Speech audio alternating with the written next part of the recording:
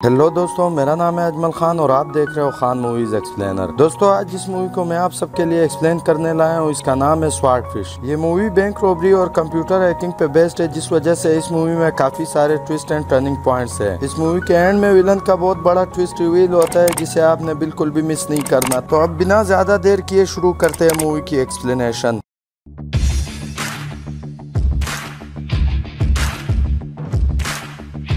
Movie کے شروعات میں ہمیں مووی کا کلائمیکس دکھایا جاتا ہے، جس میں ہم ایک شخص کو دیکھتے ہیں، جس کا نام گیبریل تھا۔ وہ ریسٹورنٹ میں چائے پیتے ہوئے بہت تہذیب سے بات کر رہا تھا۔ تو پہلے ہمیں لگتا ہے کہ گیبریل ہم درشکوں سے بات کر رہا ہے، لیکن پھر پتہ لگتا ہے کہ وہ تو سامنے بیٹھے دو لوگوں سے بات کر رہا ہے۔ اور بات کرنے کے دوران ہمیں پتہ لگتا ہے کہ گیبریل نے ایک بینک کو اپنے قبضے میں کر رکھا ہے اور ساتھ میں اس بینک کے کرمچاریوں کو بھی بندک بنا رکھا ہے۔ اور اب وہ ان دو لوگوں کو دھمکی دیتے ہیں کہ اگر سرکار نے مجھے ایک پلین ایئرپورٹ پہ نہ دیا کچھ ملین ڈالر کے ساتھ تو میں ایک ایک کر کے سبھی بندکوں کو مار دوں گا۔ اور اگر سرکار میری مانگیں پوری کرتا ہے تو اس فلم کا کلائمیکس کچھ الگ ہوگا دوسرے فلم کے مقابلے، کیونکہ اس میں ولن بچ کے نکل جائے گا۔ اب سامنے بیٹھے دو لوگ گیبریل سے کہتے ہیں، اس مووی میں ایک پرابلم ہے کیونکہ یہ ناممکن ہے۔ درشک ہمیشہ اچھی اینڈنگ دیکھنا پسند کرتی ہے۔ اب اصل میں ان دو لوگوں کے کہنے کا مطلب یہی بنتا ہے کہ سرکار تمہاری یہ شرط نہیں مانے گی۔ گیبریل یہ سن کے وہاں سے جاتے ہوئے ان دو لوگوں میں سے ایک جس کا نام سٹینلی تھا، اسے اپنے ساتھ چلنے کو کہتا ہے۔ تو سٹینلی بھی اس کے ساتھ جانے لگتا ہے۔ اب دروازے پہ سوارٹ ٹیم بھی اسے جانے دیتی ہے کیونکہ گیبریل کے ہاتھ میں بم کا ریموٹ تھا۔ اب گیبریل بڑے اسٹائل سے وہاں سے نکلتا ہے۔ تب ہم آس پاس دیکھتے ہیں جہاں بہت ساری پولیس، بم سکواڈ اور سوارٹ فورس تھی۔ پھر جب گیبریل بینک پہنچتا ہے تو ہم بینک کے کرمچاری دیکھتے ہیں جسے گیبریل نے بندک بنا رکھے تھے۔ اور ان سارے بندکوں کے ساتھ بم باندھا گیا تھا جو صرف اس بینک کی حد تک تھا۔ مطلب اگر کسی بندک نے بینک کی حد پار کی تو وہ بم بلاسٹ ہو سکتا ہے۔ اب گیبریل ایک لڑکی کو اپنے آدمی کے ساتھ باہر بیچ دیتے ہیں ان سب کو بم دکھانے اور ڈرانے کے لیے۔ اور ساتھ میں ایک ایف بی آئی افسر جس کا نام روبرٹ تھا جسے گیبریل نے چائے پیتے ہوئے کیفے میں بڑی تہذیب سے دھمکی دی تھی۔ اسے فون کر کے بم کی حد بتا دیتا ہے۔ اسی دوران ایک پولیس افسر اس لڑکی کو بچانے اور اس شخص کو گولی مارنے کے آرڈر جاری کر دیتا ہے۔ تو روبرٹ یہ دیکھ کر منع کر دیتا ہے، پر وہ افسر کوئی بات نہیں سنتا تو روبرٹ اسے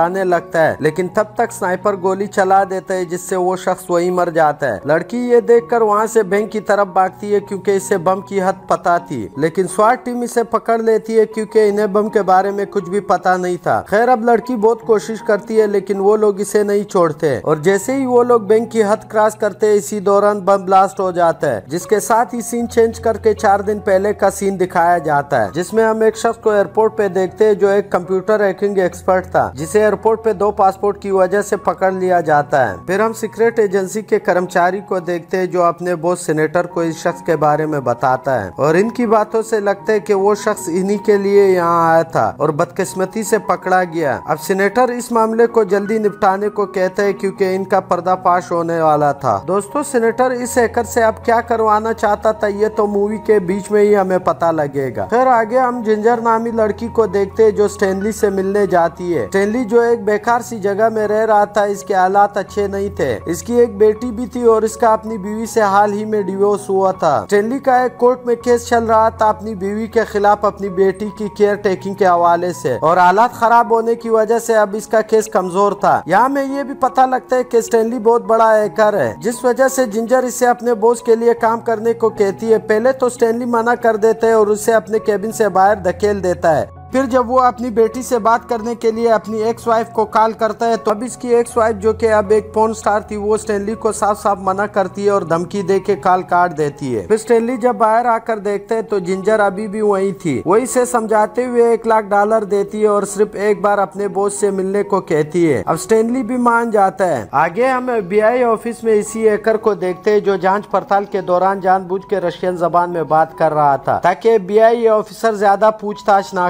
کریں لیکن اس کا وکیل رشین جانتا تھا، تو اب وہ جو بھی کہتا ہے، اسے وکیل انگلش میں بی آئی کو ٹرانسلیٹ کر دیتا۔ اب جانچ پڑتال چل ہی رہی تھی، اسی وقت وہاں روبرٹ آتا ہے۔ وہ اپنے طریقے سے جانچ پڑتال شروع کر دیتا ہے۔ تو وہ شخص بہت ہی کامیڈی انداز میں رشین زبان میں جواب دیتا ہے۔ اور جب روبرٹ پوچھتا ہے کہ کیا کہا اس نے، تو وکیل اسے کہتا ہے، یہ کہہ رہا ہے کہ آپ کو دیکھ کر اسے نانا پاٹیکر کی یاد آتی ہے۔ ویسے دوستو، انگلش میں تو وہ کسی کامیڈی سیریل کے ہیرو کا کہتا ہے، لیکن ہندی ڈبنگ والے والوں نے اسے چینج کر کے نانا پاٹیکر کا نام جوڑ دیا۔ خیر، اب یہ نانا پاٹیکر سوری روبرٹ اس وکیل کو دھکے دے کر باہر نکال دیتا ہے۔ اور جب وہ باہر نکلتے تو ہم گیبریل کے دو آدمیوں کو بھی وہاں آتے ہوئے دیکھتے ہیں۔ پھر ہم روم میں روبرٹ کو دیکھتے ہیں جو اس سے سوال پوچھتا ہے۔ اب روبرٹ نے اس کی ہسٹری پہلے سے ہی نکال لی تھی، اس بنا پہ وہ اس کے سارے جرم اسے بتاتے ہوئے ڈرا دیتا ہے۔ وہ کہتا ہے، مجھے اس کا نام تو پتا نہیں، پر وہ الگ ہی دنیا میں جیتا ہے۔ جن چیزوں کا کرنے کا ہم صرف خواب دیکھتے ہیں، وہ حقیقت میں کر گزرتا ہے۔ وہ ایسے جیتا ہے جس کے آگے کوئی نہیں جی سکتا۔ لیکن کیا تم جانتے ہو وہ پورا کا پورا ایک بیروپیا ہے؟ اس کا ایسے تہذیب سے بات کرنا، اس کی ساری دولت، شان اور شوکت، مہنگے کھلونے سب دکھاوا ہے۔ اور اسے جو چاہیے، جب چاہیے وہ حاصل کر لیتے ہیں اور غائب ہو جاتے ہیں۔ اور مزید بتاتے ہوئے کہتے ہیں، اس کے کام کرنے کا سٹائل کچھ الگ ہے۔ اس کے آدمی آتے، کام بتاتے ہیں، میں وہی کام کرتا ہوں اور اپنا پیسہ لے کر نکلتا ہوں۔ اب یہ ساری باتیں گیبریل کے آدمی آبزرویشن روم میں سن رہے تھے۔ تو جیسے ہی وہ ایکر روبرٹ کو مزید بتانے لگتے ہیں، ان میں سے ایک شخص روبرٹ کو کسی بہانے فون کر کے باہر نکال لیتا ہے۔ روبرٹ جب فون سننے باہر جاتا ہے، وہ لوگ گن میں سائلنسر لگا کر ہیکر اور اس کے وکیل کو وہی ایف بی آئی آفس میں ہی گولی مار کے چلے جاتے ہیں۔ اور روبرٹ کو جب پتا لگتا ہے کہ وہ کال ایک فیک کال تھی، تو وہ باغ کے روم میں جاتا ہے، لیکن تب تک بہت دیر ہو چکی تھی۔ وہ دونوں مر چکے تھے اور گیبریل کے آدمی بھی وہاں سے بھاگ چکے تھے۔ پھر اگلے سین میں ہم سٹینلی اور جنجر کو دیکھتے جو گیبریل سے ملتے ہیں۔ گیبریل اس کے سامنے کمپیوٹر رکھ کے کہتے ہیں، مجھے ایک سو اٹھائیس انکرپٹنگ کوڈ کو توڑنا ہے۔ دوستو، ایک سو اٹھائیس انکرپٹنگ کوڈ کو توڑنا بہت ہی مشکل ہے، کیونکہ یہ کوڈ تو سرکاری کمپیوٹر سرور کے نیٹ ورک پہ لگے ہوتے ہیں، جسے توڑنا معمولی ہیکر کے بس کا کام نہیں۔ ویسے تو سرکاری ڈیٹا چوری کرنا امپوسیبل ہے، کیونکہ بڑی سرکاری آرگنائزیشن تو اس سے بھی زیادہ مشکل انکرپٹنگ کوڈ اپنے کمپیوٹر سرور نیٹ ورک پہ لگاتی ہے، جسے توڑنا لگ بھگ ناممکن ہے۔ ویسے تو گیبریل نے سٹینلی سے جس سرکاری آرگنائزیشن کے کوڈ کو توڑنے کا کہا وہ تو ایک چھوٹا موٹا سرکاری آرگنائزیشن تھا۔ خیر، یہاں گیبریل سٹینلی سے کہتے ہیں، میں نے کسی سے سنا تھا کہ دنیا میں مہان کمپیوٹر ہیکر اسے ساٹھ منٹ یعنی ایک گھنٹے میں ہیک کر سکتا ہے۔ لیکن مجھے کوئی ایسا چاہیے جو اسے ساٹھ سیکنڈ یعنی ایک منٹ میں کر کے دکھائے۔ اب ایک طرح سے دیکھا جائے تو وہ سٹینلی کا انٹرویو تھا۔ اب گیبریل کا آدمی سٹینلی کے سر پہ گن تھان دیتا ہے اور ایک لڑکی اسے سیڈیوس کرنے لگتی ہے۔ تو گیبریل اسے اس سچویشن میں ساٹھ سیکنڈ دیتا ہے اس نیٹ ورک کے کوڈ کو توڑنے کا، ورنہ اگلے ساٹھ سیکنڈ بعد گولی چل جائے گی۔ سٹینلی کے پاس کوئی چارہ نہیں ہوتا تو وہ اسے توڑنے کی کوشش کرتا ہے۔ پہلی بار میں وہ ناکام ہوتا ہے تو وہ ایک بار اور کوشش کرنے لگتا ہے۔ اور کافی کوششوں کے بعد وہ ایک اور بار آخری ٹرائی کرتا ہے، لیکن تب تک ساٹھ سیکنڈ کا ٹائم پورا ہو جاتا ہے۔ تو گیبریل کا آدمی گن چلا دیتا ہے، لیکن گن خالی تھی۔ تو سٹینلی بھی انٹر دبا کے کمپیوٹر گھماتے ہوئے دکھاتا ہے کہ اس نے ساٹھ سیکنڈ میں کر دیا تھا۔ اب گیبریل اسے ہنستے ہوئے کہتے ہیں، میں تو مزاق کر رہا تھا، سٹینلی تمہاری تو حالت پتلی ہو گئی۔ وہاں سے واپسی پہ گیبریل اسے اپنے گھر لے جاتا ہے جہاں اس نے پارٹی دی تھی۔ وہاں ایف بی آئی آفس میں روبرٹ بھی پتا لگا لیتا ہے کہ سٹینلی اس شہر میں پہنچ چکا ہے، کوئی نہ کوئی کانڈ کرنے۔ اب روبرٹ نے پہلے بھی سٹینلی کو کسی ایک ہی کیس میں گرفتار کیا تھا، اسی وجہ سے اسے پتا تھا کہ وہ ایک ہیکر ہے۔ پھر ہم واپس سٹینلی کو دیکھتے ہیں، جس سے گیبریل اور جنجر کافی پوچھتے ہیں کہ اس نے وہ کوٹ کیسے توڑا۔ لیکن کافی پوچھنے کے باوجود بھی سٹینلی ان دونوں کو یہاں وہاں باتیں گمانے لگتا ہے۔ تو گیبریل اسے اپنے اسٹوڈیو لے جاتے ہیں جہاں سٹینلی نے کام کرنا تھا۔ اب گیبریل اس سے ایک ایسا وائرس کوڈ بنانے کو کہتا ہے جس کے ذریعے وہ کسی بھی کمپیوٹر سرور میں گھس کے ڈیٹا چرا سکے اور اس کے آنر کو پتا نہ چل سکے کہ کسی نے ڈیٹا چرا لیا سٹینلی گیبریل سے پوچھتا ہے کس کے سرور میں گھسنا ہے تجھے۔ تو گیبریل سٹینلی سے کہتا ہے ویرنیم کے سرور کے ڈیٹا کو ہیک کرنا ہے۔ دوستو ویرنیم کے server bank, hospital, jail, passport office اور اسی طرح کے سرکاری آرگنائزیشن میں یوز ہوتے ہیں۔ لیکن اس سے آپ کسی کا ڈیٹا تو چرا سکتے ہو، پر اس میں ہیر پیر کرنے کے لیے آپ کو اسی سرور کے کمپیوٹر کی ضرورت پڑے گی، جسے ہم بعد میں سمجھیں گے۔ اب سٹینلی ویرنیم سیکورٹی سسٹم کا سنتے ہی کہتا ہے، یہ ناممکن ہے کیونکہ وہ ڈیٹا سچ مچ ایک سو اٹھائیس بٹ پہ چلتا ہے اور ہر کوڈ کو یوز کرنے کے بعد اسے نشٹ کر دیا جاتا ہے۔ جنجر سٹینلی سے کہتی ہے، ویسے ہم ایک سو اٹھائیس نہیں، بلکہ پانچ سو بارہ بٹ کے انکرپٹنگ کوڈ کو توڑنے کی بات کر رہے ہیں۔ سٹینلی کہتے ہیں، تم دونوں مزاق کر رہے ہو کیونکہ اسے توڑنا لگ بھگ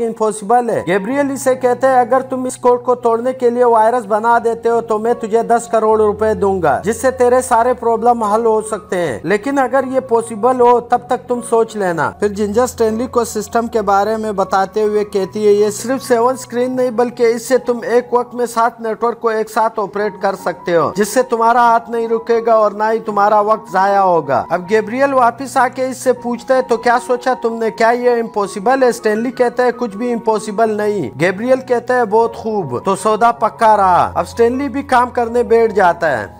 اور رات بھر کام کرنے کے بعد دوپہر کو وہ اپنی بیٹی سے ملنے اسکول جاتا ہے اور اسے اسکول سے گھر ڈراپ کر لیتا ہے، لیکن بیٹی کی باتوں سے کافی ایموشنل ہو جاتا ہے۔ تبھی اس کی گاڑی میں ایف بی آئی کا ایک افسر آ کر بیٹھ جاتا ہے اور جب وہ پیچھے مڑ کر دیکھتا ہے تو روبرٹ بھی پیچھے گاڑی میں بیٹھا تھا۔ اسٹینلی اس کی ناک توڑ کر بھاگنے لگتا ہے اور وہ لوگ اس کا پیچھا کرنے لگتے ہیں اور کافی مشکل سے وہ لوگ اسٹینلی کو پکڑ لیتے ہیں۔ روبرٹ اسے کہتے ہیں، ہم تمہیں گرفتار نہیں کریں گے، لیکن تم یہاں کیا کرنے آئے ہو؟ اسٹینلی کہتے ہیں میں اپنی چھٹیاں منانے اور ڈزنی میلہ دیکھنے آیا تھا۔ روبرٹ اسے کہتے، تمہارا دوست بھی میلہ دیکھنے آیا تھا اس شہر میں، لیکن مارا گیا، اور اگر تم نے بھی ساودھانی نہیں برتی تو تم بھی اس کے جیسے مار دیے جاؤ گے۔ میں تمہاری بیٹی کا معاملہ سلجھا سکتا ہوں اگر تم مجھے سچ سچ بتا دو۔ لیکن سٹینلی اس پہ بھروسہ نہیں کرتا کیونکہ روبرٹ نے پہلے بھی اس کا بھروسہ توڑ کر اسے ایک ہیکنگ کیس میں جیل بھیج دیا تھا۔ تو وہ وہاں سے جانے لگتا ہے، لیکن روبرٹ جاتے جاتے اسے اپنا کارڈ تھما دیتا ہے۔ یہ کہہ کر کے اگر کچھ بتانا ہو تو اس نمبر پہ رابطہ کرنا۔ سٹینلی کارڈ لے کر وہاں سے چلا جاتا ہے، اور جب سٹینلی گیبریل کے گھر پہنچتے ہیں تو وہ جنجر کو کپڑے چینج کرتے ہوئے دیکھتا ہے کہ جنجر نے کپڑوں کے نیچے مائک اور کیمرہ چھپا رکھا ہے۔ سٹینلی اس کے پاس جا کر پوچھتا ہے، یہ سب کیا ہے؟ کیا تم بی آئی ہو؟ جنجر کہتی ہے، نہیں، میں تو اینٹی نارکوٹک ڈپارٹمنٹ سے ہوں، لیکن مجھے تجھ سے کوئی لینا دینا نہیں۔ تم اس کا کام کر لو، اپنا پیسہ لو اور یہاں سے نکل جاؤ۔ ہم گیبریل کے پیچھے ہیں۔ اب اسی وقت وہاں گیبریل آتے وہ سٹینلی کو کہیں چلنے کو کہتا ہے، لیکن سٹینلی گیبریل کو جنجر کے بارے میں نہیں بتاتا اور اس کے ساتھ چلا جاتا ہے۔ پھر وہ دونوں ایک ریسٹورنٹ جاتے اور وہاں کافی منگاتے ہوئے گیبریل اس سے سواٹ فش آپریشن کے بارے میں بتاتے ہوئے کہتا ہے کہ انیس سو اسی میں سرکار کے نارکوٹکس ڈپارٹمنٹ نے ایک نیٹ ورک کارپوریشن بنایا تھا جس میں وہ ڈرگز کا پیسہ اور ثبوت جمع کرتے تھے، لیکن یہ کارپوریشن خوب پیسہ کمانے لگا۔ اور انیس سو چھیاسی میں جب اس آپریشن کو رد کیا گیا تو ان کے اکاؤنٹس میں چار سو ملین ڈالر تھے۔ سٹینلی کہتا ہے وہ پیسہ تو غائب ہو گیا تھا۔ گیبریل کہتے ہے وہ کہیں غائب نہیں ہوا، بلکہ وہ تو اسی اکاؤنٹ میں ہی تھا اور سود کے ساتھ بڑھنے لگا جسے آج پندرہ سال ہو گئے اور آج ان پندرہ سالوں میں وہ پیسہ چار سو ملین سے بڑھ کر کم سے کم نو بلین تک پہنچا ہوگا۔ اور اب ہم ان کے فون لائن کے ذریعے ان کی سیکورٹی فائر وال توڑیں گے اور پھر اپنا وائرس ان کے سسٹم میں انسٹال کر کے پیسہ ٹرانسفر ہونے کا انتظار کریں گے۔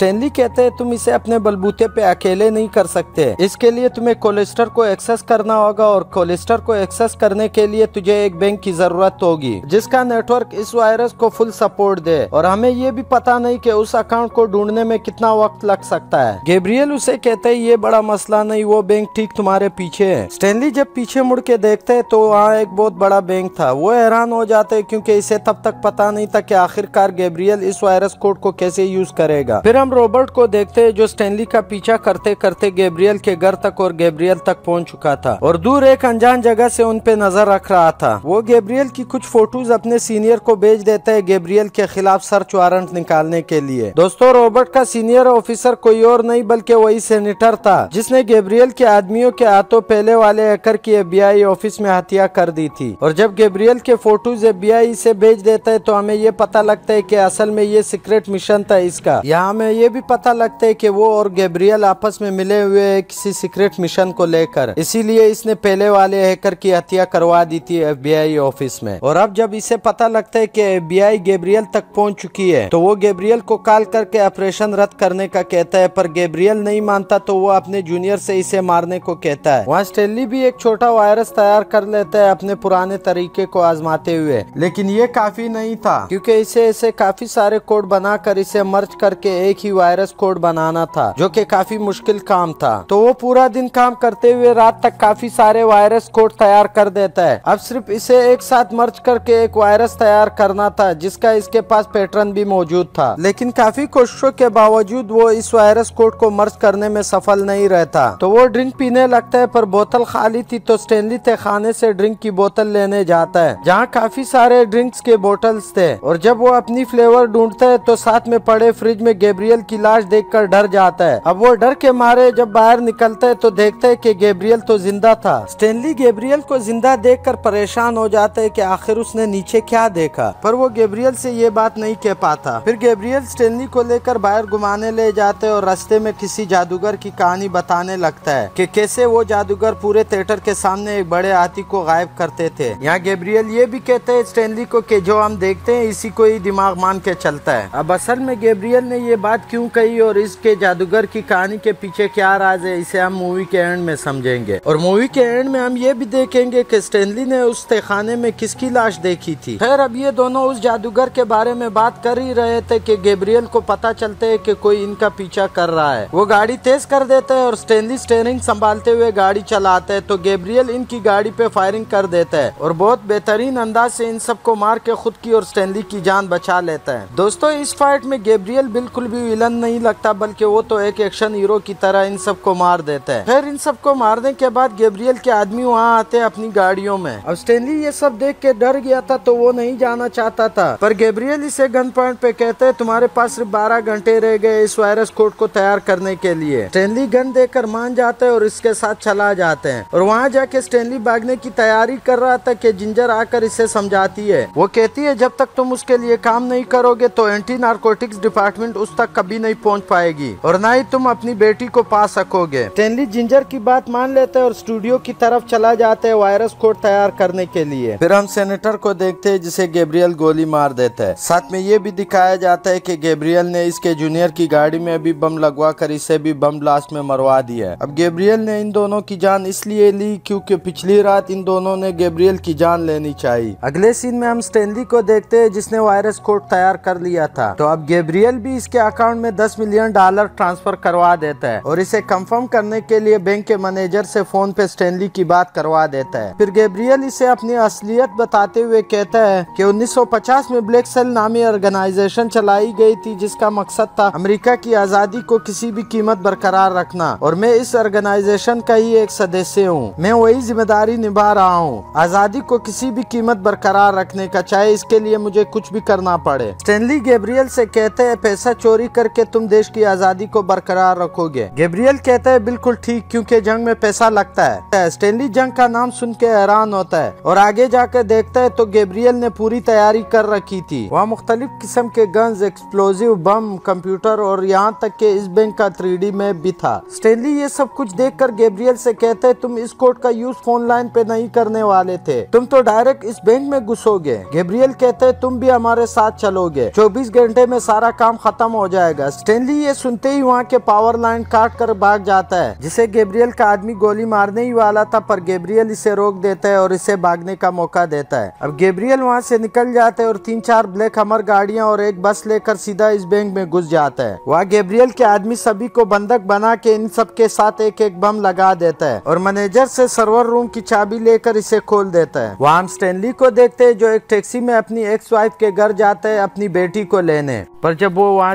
جاتے تو دیکھتے کہ گیبریل کے آدمی اس کی ایکس وائف اور اس کے ہسبینڈ کو مار کے اس کی بیٹی وہاں سے لے جا چکے ہیں۔ تو وہ F B I agent Robert کو کال کر دیتا ہے اور پھر وہ دونوں گیبریل سے اسی ریسٹورنٹ میں ملتے ہیں جسے مووی کے فرسٹ سین میں دکھایا گیا تھا۔ جہاں گیبریل نے اپنی ڈیمانڈ بتائی تھی اور سواٹ ٹیم کی وجہ سے ایک لڑکی کے جسم پہ لگا بم پھٹ گیا تھا۔ دوستوں میں نے کہا تھا نا کہ مووی کے شروعات میں ہم مووی کا کلائمیکس دیکھتے ہیں۔ پھر بلاسٹ کے بعد وہاں ہر طرف تباہی مچ جاتی اور گیبریل روبرٹ کو کال کر کے دھمکی دیتا ہے کہ جلد سے جلد اس کی ڈیمانڈ پوری کی جائے۔ ورنہ وہ اس سے بھی بڑی تباہی مچا سکتا ہے۔ روبرٹ اپنے سینئر سے کہتے ہیں، اس سرپیرے کی ڈیمانڈ پوری کر لو، ورنہ وہ اور بھی تباہی مچا سکتا ہے۔ اس سے پنگا لینا مہنگا پڑ سکتا ہے۔ وہاں بینک میں گیبریل سٹینلی سے جلدی کام کرنے کو کہتے ہیں۔ سٹینلی سے کہتے ہیں، مجھے میری بیٹی سے ملا دو، پھر میں کام کروں گا۔ گیبریل اس کی بیٹی سے اسے ملا کے کہتے ہیں، تم نے مجھے یہ سب کرنے پہ مجبور کیا۔ سٹینلی اپنی بیٹی سے ملنے کے بعد گیبریل کے آدمی سے وائرس کوڈ کی سی ڈی لیتے ہوئے کام شروع کر دیتا ہے اور گیبریل سے پوچھتا ہے کس اکاؤنٹ میں پیسہ ٹرانسفر کرنا ہے؟ گیبریل کہتا ہے، ہر اکاؤنٹ میں ایک جیسی اماؤنٹ ڈال دو۔ سٹینلی وائرس کوڈ کو سسٹم میں انسٹال کر کے ساری رقم گیبریل کے اکاؤنٹ میں ڈال دیتا ہے۔ تو گیبریل اسے اور اس کی بیٹی کو وہاں سے جانے دیتا ہے۔ لیکن جب وہ دروازے تک پہنچتے ہیں، تو اکاؤنٹ سے پیسہ واپس غائب ہونے لگتا ہے۔ گیبریل یہ دیکھ کر اپنے آدمی سے ان دونوں کو روکنے کا کہتا ہے۔ پر سٹینلی اپنی بیٹی کو وہاں سے نکال دیتا ہے، لیکن سٹینلی کو اس کے آدمی پکڑ لیتے ہیں۔ جب گیبریل اس سے پوچھتا ہے کہ کیا کیا تم نے، تو سٹینلی پہلے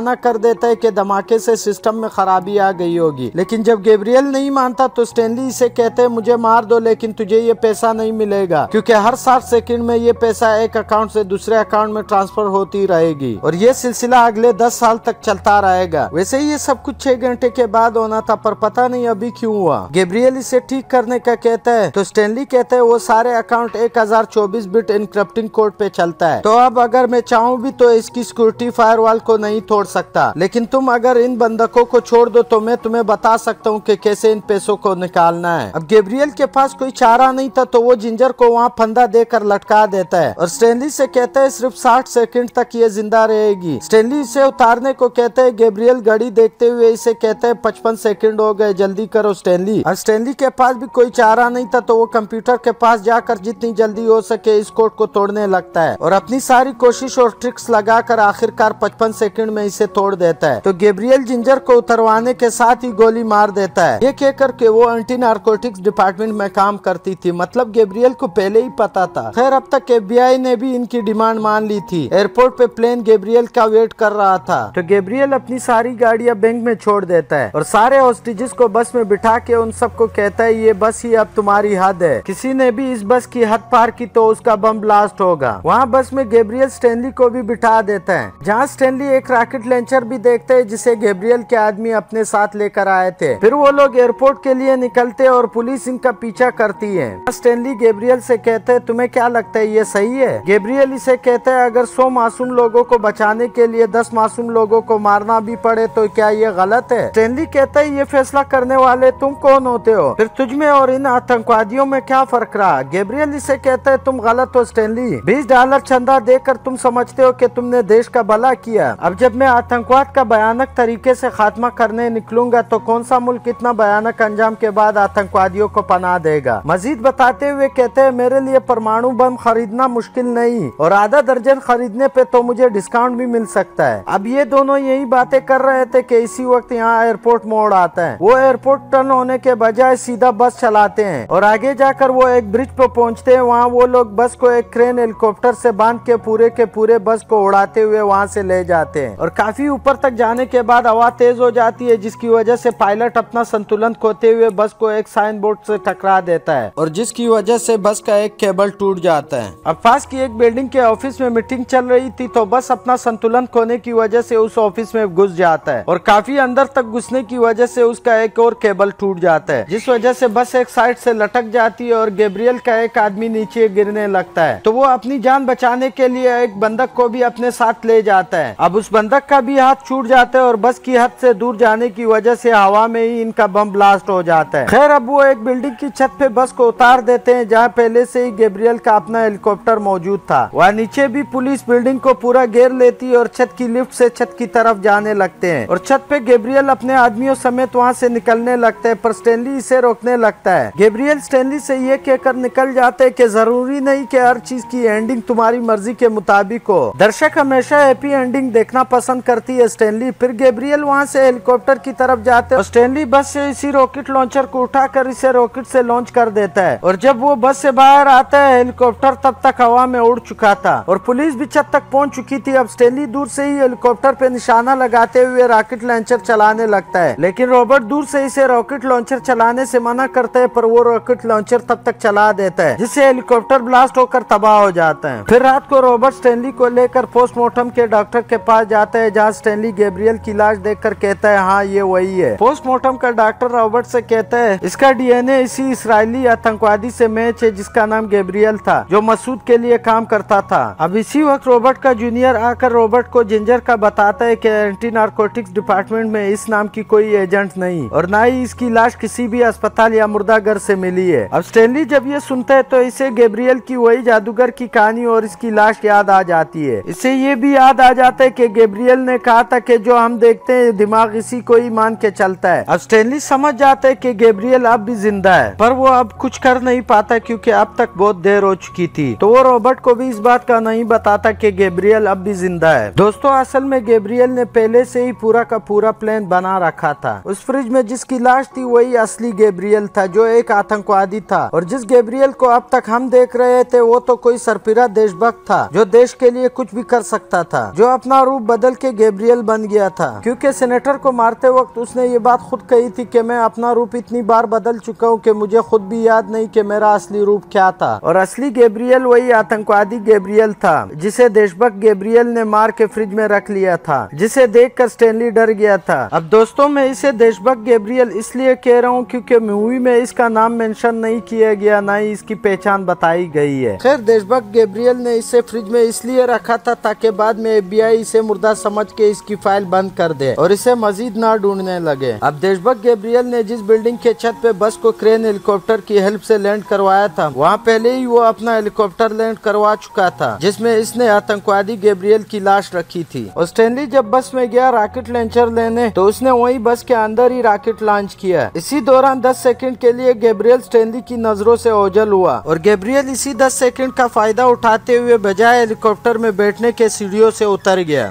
یہاں اسٹینلی کو یہ لگا کہ گیبریل ہیلی کاپٹر میں ہے تو اس نے راکٹ لانچر چلا دی۔ اسٹینلی جس سمے راکٹ لانچر چلا رہا تھا، اسی سمے گیبریل بھی سیڑھیوں سے اتر رہا تھا، جس کی ہلکی سی جھلک ہم مووی میں دیکھ سکتے ہیں۔ اب گیبریل سیڑھیوں سے اس لیے اترا کیونکہ لفٹ سے پولیس اوپر چھت کی طرف آ رہی تھی۔ ان سب کا مطلب یہ ہے کہ گیبریل خود چاہتا تھا کہ اسٹینلی اس کے ہیلی کاپٹر کو راکٹ سے اڑا دے۔ تبھی تو بنا ضرورت کے وہ اپنے ساتھ راکٹ لانچر لے کر آیا تھا اور بنا یوز کیے جان بوجھ کر اسے بس میں ہی چھوڑ آیا تھا۔ کیونکہ اسٹینلی کے بارے میں اسے اتنا پتا تھا کہ وہ اس راکٹ لانچر سے میرے ہیلی کاپٹر پہ فائر کر سکتا ہے۔ خیر، ان سب کے کچھ ہفتے بعد ہم جنجر کو دیکھتے جو ایک بینک جا کر ان سارے اکاؤنٹ سے پیسے نئے اکاؤنٹ میں ٹرانسفر کروا دیتی ہے۔ کیونکہ ان اکاؤنٹ کے ساتھ اسٹینلی چھڑخانی کر سکتا تھا۔ اب پیسہ ٹرانسفر کرنے کے بعد وہ گیبریل سے ملتی ہے جو ایک چھوٹے سے بورڈ میں نئے روپ میں جنجر کا ویٹ کر رہا تھا۔ وہ دونوں وہاں سے بورڈ میں نکل جاتے اور بیک گراؤنڈ میں نیوز چلتی ہے، جس سے ہمیں پتہ لگتا ہے کہ ایک انجان سنگٹھن کے تحت دنیا کے مختلف دیشوں میں آتنکوادیوں کے لیڈروں کی ہتیا کی جا رہی ہے۔ اس نیوز سے پتہ لگتا ہے کہ گیبریل نے دنیا سے آتنکواد کے خاتمے کا اپنا مشن شروع کر دی ہے۔ اسی نیوز کے ساتھ مووی یہی اینڈ ہو جاتی ہے۔ تو دوستو، اگر آپ کو میری ویڈیو ذرا بھی اچھی لگی ہو، تو پلیز ویڈیو کو لائک کر کے چینل کو سبسکرائب کرے اور ساتھ میں لگے اس بیل آئکن کو بھی دبائیں۔ تاکہ میں مزید اسی طرح کی ویڈیوز آپ کے سامنے لاتا رہوں۔ میں ملتا ہوں آپ سے اگلی ویڈیو میں، تب تک کے لیے بائے